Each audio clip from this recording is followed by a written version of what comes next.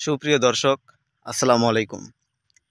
কৃষি ও খামার ভিত্তিক ইউটিউব চ্যানেল স্বদেশ খামারে আপনাকে স্বাগতম।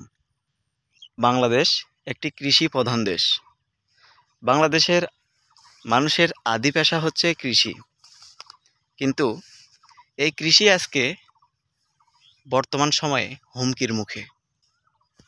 কেননা, সেই প্রাচীনকাল থেকেই কৃষক লাঞ্ছিত, বঞ্চিত, শোষিত, নিপীড়িত হয়ে আসছে। কৃষক তার ন্যায্য মূল্য পায় না। রোদে পুড়ে বৃষ্টিতে ভিজে কষ্টের পর কষ্ট করে সোনার ফসল ফলায়, কিন্তু সেই পরিশ্রম এবং কষ্টের আমরা ন্যায্য মূল্য এবং সম্মান দিতে পারি না। এই জন্যই যুগের পর যুগ কৃষক অবহেলিত হয়ে আসছে। বর্তমান সময়ে দ্রব্যমূল্যের ঊর্ধ্বগতি। কৃষক একজন প্রান্তিক কৃষক, সার, কীটনাশক, বীজ এক কথায় সব কিছু উচ্চ মূল্যে ক্রয় করে এবং ফসল উৎপাদন করে। উৎপাদন করে এক পর্যায়ে দেখা যায়, সে ফসল বিক্রি করে ভালো একটা মুনাফা পায় না। সারা বছর ঋণ করে, ঋণের টাকা দিয়ে ফসল উৎপাদন করে।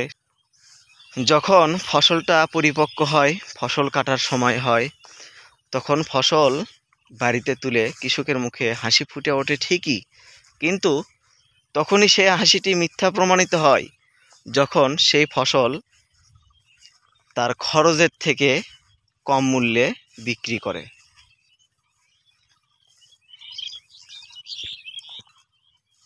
মূল কথা, কৃষকের ফসল উৎপাদনে যে পরিশ্রম এবং অর্থ ব্যয় হয়, ফসল বিক্রি করে তার ন্যায্য মূল্য কৃষক পায় না। আর মূল কারণ হচ্ছে আমরা নিজেরাই।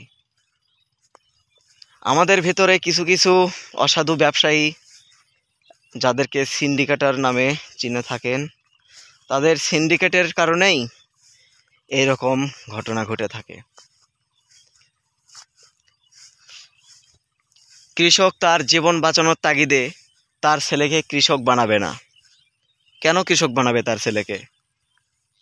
সে যেমন রোদে পুড়ে বৃষ্টিতে ভিজে কষ্টের পর কষ্ট করে ফসল উৎপাদন করে দিন শেষে তাকে ফসল বিক্রি করে চোখের জল সেরে কাটতে হয়, তখন সে তার ছেলেকে কেন কৃষক বানাবে?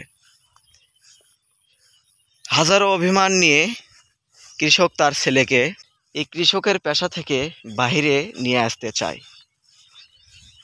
তো আমরা আগেই বলেছি, বাঙালি বাঙালি জাতির আদি পেশা হচ্ছে কৃষি।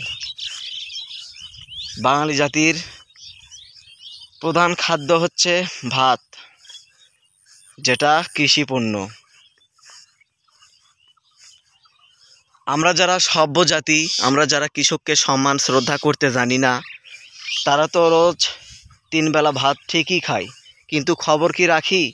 কৃষকের পেটে কি তিন বেলা ভাত যাচ্ছে? তারা ফসল ঠিকই উৎপাদন করে। কিন্তু তাদের পেটে ভাত যায় না। তারা একটু সুখের আশায়, তিন বেলা খাওয়ার আশায়, পড়ার আশায় যে ফসল উৎপাদন করে, আমরা সেই ফসল তাদেরকে ঠকিয়ে নিজেরা লাভবান হই। এরকম হাজারো কারণে কৃষক তার কৃষি পেশা ছেড়ে গ্রাম থেকে শহরমুখী হচ্ছে। অনেক কৃষক তার ছেলে মেয়েদের কৃষি থেকে দূরে রাখছে, কৃষি কাজ থেকে দূরে রাখছে।